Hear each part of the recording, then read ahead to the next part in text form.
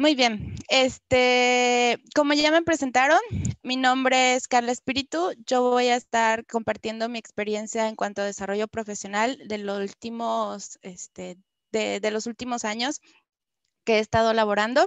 Eh, la charla la, la llamé Encuentra tu luz porque creo que cada uno debemos de tener la habilidad para encontrar lo que nos gusta y hacia dónde queremos llegar. Algo sobre mí, ya, ya, este, ya me presentaron un poquito. Mi nombre completo es Carla Yurisa Espíritu Sandoval. Eh, mi título de profesional, digamos así, o lo que en los últimos años he elaborado es en ingeniero de, ingeniera de pruebas. Soy de la ciudad de Colima, tengo 34 años de edad, eh, soy ingeniera en sistemas computacionales, tengo maestría en sistemas computacionales y en los trabajos que he estado es en Intel, en Continental y actualmente estoy en Michelada. ¿Qué hago aquí en Michelada? Estoy en el equipo de calidad y estoy trabajando en impulsar actividades de testing. Algo sobre mí, tengo un niño de dos años, este, dos años y medio. Eh, tengo tres años de casada, me gusta compartir tiempo con mi familia y también me gusta compartir conocimiento. Eh, ¿Qué sigue? Bueno, encuentra tu luz. ¿Por qué estoy por acá? Estoy aquí compartiendo la experiencia que yo tuve en mi desarrollo profesional en, los últimos años. Esto, y esto es más que nada en un estancamiento profesional, por decirlo así que como los mencioné anteriormente, yo he sido una persona estable en cuestiones laborales en el primer año, a pesar de que ya tengo 11 años de experiencia o 11 años laborando, eh, es mi tercera empresa en la que estoy y, y, pues estoy también muy contenta, ¿no? Pero también a veces nos pasa esto de estancamiento profesional. Entonces, lo primero que yo aquí les vengo a compartir es identificar la oscuridad donde estamos, que, en, qué ambiente estoy o qué, estoy percibiendo que, pueda llegar a, darme esa, pauta para decir que estoy eh, en una zona de confort en cuestiones laborales. Lo primero que yo les expongo aquí es ver su rutina laboral, qué es lo que están haciendo día con día, si esto es son actividades eh, que se están repitiendo semana con semana, mes con mes, eh, y, más que nada eso, ¿no? Que podamos identificar la rutina laboral. Lo segundo que a mí me, me, llamaba mucho la atención o que me pasó fue que pues en las empresas llegan colaboradores nuevos. Entonces pues yo veía esa, esa parte de que llegaba alguien nuevo y yo lo sentía pues más preparado que yo, con mejores herramientas, con mejores ideas, eh, con cosas nuevas que, que yo a lo mejor me estaba privando de aprender o de hacer. El eh, tercer punto es que la tecnología te alcanza. Eh, por aquí, si, si, bien todos estamos familiarizados, sabemos que en este, en este ámbito de la tecnología no es casarte con una sola tecnología o no es este, apostarle todo a una sola cosa. Hay que tener un gran panorama para poder identificar qué, ¿Qué, hay de nuevo? ¿Qué cosas están surgiendo? ¿Qué es lo actual? ¿Qué es lo que se está usando incluso en los proyectos? Entonces, por ahí también me llegó un foquito donde se, está, se están abriendo estas tecnologías o están se están postulando ciertos cursos para, para, esto. Entonces ahí también fue una manera de identificar que, que, que algo estaba pasando en mi, en mi desarrollo. Y la otra es también me llega o me llegó la pregunta de que si soy la indicada para el trabajo o ya, o ya pasé a, digamos, a segundo término o, ya no aporto lo mismo que en un inicio estoy aportando o que en un inicio eh, aporté. Entonces, estos cuatro, estos cuatro puntitos que, yo les comparto es como me empecé a dar cuenta de, cómo me sentía yo o pude identificar que estaba en un este, estancamiento profesional, digámoslo así. ¿Cómo, ¿Cómo yo fui llevando esta parte? Y aquí es donde me quiero ampliar un poquito. Para empezar o para abordar el tema de rutina laboral, hice cuatro puntitos. El primero es identifiqué actividades cíclicas en mi trabajo. Identifiqué que lo que yo estaba haciendo desde hace un año, desde hace año y medio, era lo mismo. Empezaba a trabajar a las 9 de la mañana, terminaba a las 6 de la tarde y, hacía lo mismo cada semana o cada mes. Incluso los entregables eran muy similares, eh, las actividades eran muy similares mes con mes. Ya no, ya no parecía un reto para mí estarlas haciendo, era como que algo, algo fácil, este, pero continuo, ¿no? Continuo. Eh, segundo punto, me di el tiempo que, trabaja, que, llevaba a hacerlas. Me di la tarea de decir, bueno, en esta actividad que me pidieron, tengo tanto tiempo o le asigné tanto tiempo o, me, me, enfoqué en hacerla tanto tiempo. Eh, y, así fui, fui monitoreando las actividades. El tercer punto, identifiqué cosas que no dependen de mí y que me consumían mucho tiempo. Eso también es importante. Algunas veces pasaba en mi proyecto que me detenía mucho tiempo en hacer una cierta actividad y al fin, porque alguien más no había hecho su trabajo, porque alguien más la necesitaba hacer. Y esto también me dio pauta a, levantar la mano y comentarles, en esto me estoy, este, me estoy dedicando, o le estoy dedicando más tiempo a esto, pero no es porque yo me tarde más, sino porque depende de alguien más. Y hubo una oportunidad de ahí o de aprender lo que la otra persona hacía para yo poder continuar con mis actividades o de, este, pues de que alguien más las hiciera, ¿no? Eh, eso fue lo que, lo que aprendí de, de esa parte, lo que hice en esa actividad. La cuarta es sobre investigar cómo hacían las cosas las otras personas.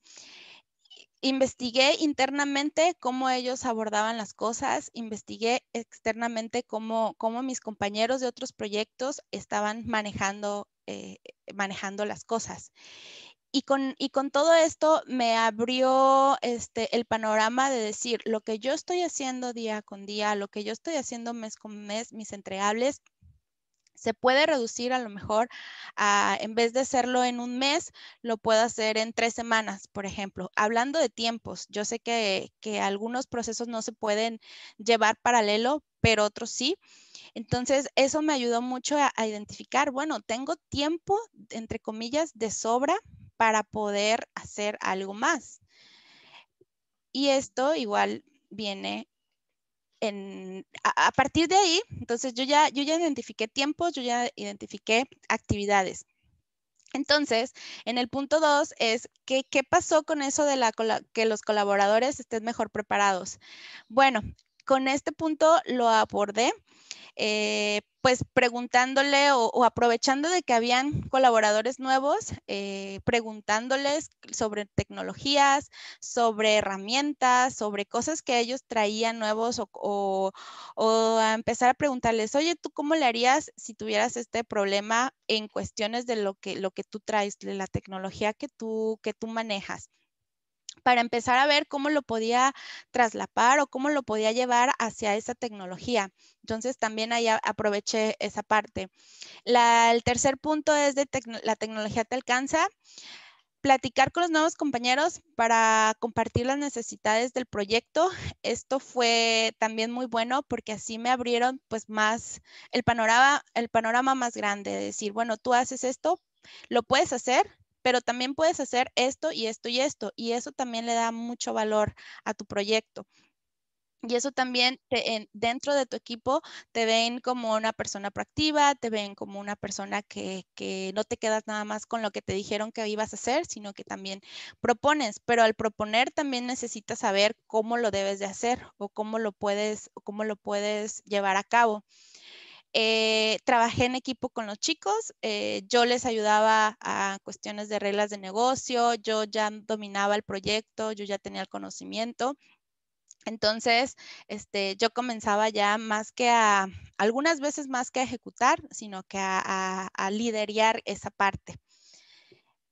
Y la última punto de platicar si soy la, la indicada para el trabajo o, pensar si soy la indicada para el trabajo. Aquí, pues yo la respuesta o lo que yo me contesté es que sí, porque aproveché cada obstáculo que, yo veía en mi oscuridad, por decirlo así. Eh, aproveché cada obstáculo para poder identificar lo que se podía hacer y lo convertí en una, una oportunidad de crecimiento. Estas cuatro cosas que yo identifiqué, que yo las trabajé, se, dieron, se, dieron, como resultado otras actividades. ¿Como qué actividades? Aquí tengo una. La primera, pues mi rutina laboral. Mi rutina laboral fue diferente. Yo tenía si bien no me cambiaron de proyecto, porque tampoco pedí que me cambiaran de proyecto, porque yo ya al tener todo este conocimiento de, este, tener todo este conocimiento de, que, bueno, tengo, eh, tengo, mis, tengo las actividades eh, bien establecidas, tengo los tiempos que le voy a dedicar, tengo herramientas ya para hacerlo, tengo tecnología este, que ya conozco, eh, porque ya me la presentaron y creo que sí soy la indicada para eso, como en esta parte lo menciono. Creo que sí soy la indicada como para esto. Entonces, ¿qué sigue? ¿Qué sigue para mi, qué sigue para mi proyecto? Entonces, lo que aquí yo pongo es proyecto bajo control. Eh, tengo el proyecto bajo control porque los entregables los tengo en, en fecha, en tiempo. El cliente está satisfecho con mi trabajo y este, yo puedo hacer un poquito más en mi, en mi horario de trabajo. ¿Y a qué voy con un poquito más mi horario de trabajo? Cumplo con mi proyecto, digámoslo así, eh, cumplo con mi cliente, propongo ciertas cosas, ciertas este, tecnología, ciertas actividades y aparte hago un poquito más en mi horario de trabajo que eso eh, llega en el punto 5 estoy haciendo nuevas, nuevas actividades que anteriormente no las hacía porque no tenía esto bajo control, digámoslo así. El segundo punto, ¿cómo fue el, con el, trabajo o la eh, convivencia con los nuevos colaboradores? Los empecé a ver más como, más como competencia, sino como un equipo de trabajo donde vienen a, pues, a fortalecer el equipo y, y esa parte de llegar este, a mí me gusta mucho porque que llegue alguien más a, proponer, a traer este, nuevas herramientas, nuevas tecnologías, yo creo que, que fortalece, fortalece mucho el equipo. Eso es sin duda una gran ventaja lo que aquí tenemos que hacer es creernos lo que verdaderamente fortalece el equipo. Si tienes oportunidad de trabajar con alguien que maneja una tecnología diferente a la tuya o que, o que este, hace las mismas cosas pero con diferentes eh, herramientas, no te quedes con lo que tú sabes, abre, abre la puerta, abre la, abre la puerta para una charla y, eso también te va a dar mucha, mm, digamos, fortaleza y mucho aprendizaje. Es una manera más de, aprender y de seguir con el siguiente nivel, se puede decir, o brincar un nivel, un nivel más, ¿no? Lo, el tercer punto que aquí yo pongo es sobre nuevas tecnologías. Me impulsó a darme tiempo a investigar y actualizarme. Esto es, esto viene como resultado del punto número uno, donde yo identifiqué mi rutina y me empecé a dar tiempo en ver qué es lo que, lo que a mí me gusta, o aparte de mi trabajo, qué es lo que yo tengo habilidades para hacerlo, qué tecnología, en qué tecnología me puedo apoyar para poder llegar a, ese resultado y estar en constante este, actualización. Eh, eh, esto viene como ligado la parte punto uno y el punto dos y el punto tres. El punto uno porque pues te das tiempo, ¿no? A, pesar de que estás en tu proyecto, yo aquí lo, lo que el mensaje que quiero pasar es de que si estás en un proyecto donde ya llevas o ya o has trabajado en los últimos dos años, eh, piensa en que ahorita tú eres el que sabe todo lo que las actividades, sabe reglas de negocio, sabe, tiene el conocimiento y no te va a llevar al mismo tiempo realizar las actividades en este momento que hace un año, por ejemplo, hace o cuando iniciaste en el proyecto. Debes de tomar ventaja de, esa parte y más que lo veas como estancamiento en tu proyecto, velo como una oportunidad de crecimiento, donde vas a tener tu proyecto bajo control, donde si te organizas un poco más, puedes tener eh, este, un tiempo para fortalecer tus relaciones con los colaboradores y para también poder eh, investigar y poder actualizar eh, en ciertas herramientas o cierto software. El siguiente punto que yo les traigo aquí compartir es sobre si soy indicada para el trabajo. Eh, la respuesta, como les compartí anteriormente, fue que sí, disfruto lo que hago día con día y, disfruto ver los resultados que he obtenido en mi proyecto, la comunicación que tengo con mi cliente, con el equipo de trabajo. Este, con mis colaboradores, este, ha sido de gran satisfacción en los últimos, años, en el último año más que nada. Y el punto número 5, que es, a ver, ¿dónde está? El punto número 5, que aquí a lo mejor anteriormente no lo vimos, pero fue que descubrí un nuevo rol en mi crecimiento profesional. Actualmente trabajo con, ciertas, con siete personas en un equipo. Aparte de mi proyecto, como tal lo tengo, trabajo con siete personas más donde puedo ayudarlos a crear estrategias, puedo ayudarlos a crear documentación, puedo ayudarlos a, dirigirlos en cuanto a crecimiento puedo eh, llevarlos, digamos así, mentoreando a esas este, siete personas.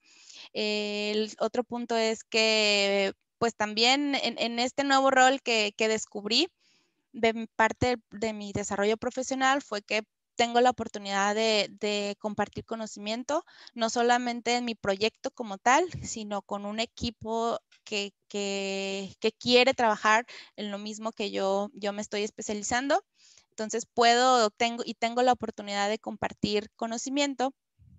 Y, la, y el, otro punto es de pues que contribuyo con mi empresa a lograr los objetivos que, ellos me, proponen, ¿no? O que ellos este, propusieron desde un inicio al, completar todos estos puntos este, y a resumir esta charla, puedo decir que soy, estoy satisfecha con esa parte de mi desarrollo profesional en el último año, donde me vi en un momento estancada, digámoslo así, por un proyecto que ya llevaba dos años trabajando en, e, en ese proyecto.